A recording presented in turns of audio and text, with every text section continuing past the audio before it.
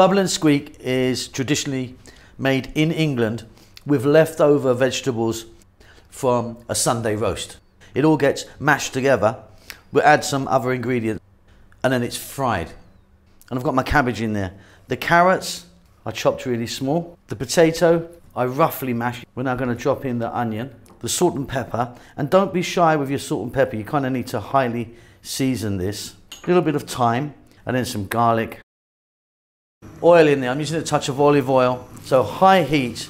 And simply what we're trying to achieve here is burning. You literally want to burn it. You want to get that kind of blackening on it, the brown and blackening on it. Okay, off goes the heat.